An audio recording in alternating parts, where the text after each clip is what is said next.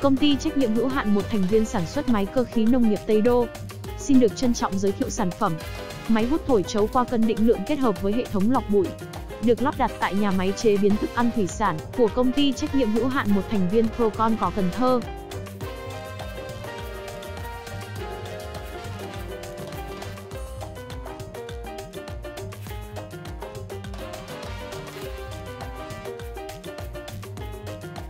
Ứng với từng mô hình công trình khác nhau, chúng tôi sẽ đưa ra cho quý khách hàng những tư vấn tối ưu nhất để có thể đạt được mục đích mong muốn với mức giá thành tốt nhất. Hiện nay, máy hút thổi chấu của công ty đã được sử dụng rộng rãi trên thị trường máy hút cả nước và các nước lân cận trong khu vực Đông Nam Á như Campuchia, Ấn Độ, Singapore, Sri Lanka, Philippines, Myanmar và các nước khác với các ưu điểm vượt trội. Công suất 5 đến 10 tấn trên giờ.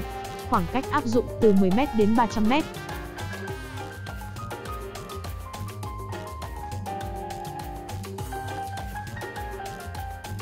Sản phẩm máy hút thổi chấu qua cân, đặt trong dây chuyền vận chuyển chấu, đến kho dự trữ và kiểm soát số lượng cung cấp qua hệ thống cân, bên cạnh đó còn giúp khắc phục tình trạng ô nhiễm.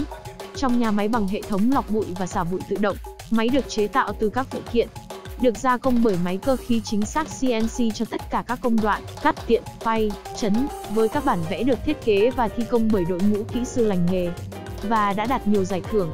Giải nhì Hội thi sáng tạo khoa học kỹ thuật toàn quốc năm 2012, cúp và chứng nhận sản phẩm công nghiệp nông thôn tiêu biểu cấp quốc gia năm 2017.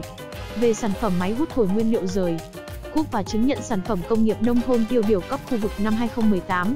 Về sản phẩm hệ thống thổi liệu và cân định lượng, và công ty Tây được trao chứng nhận ISO về hệ thống quản lý chất lượng hàng đầu thế giới ISO 9001-2015.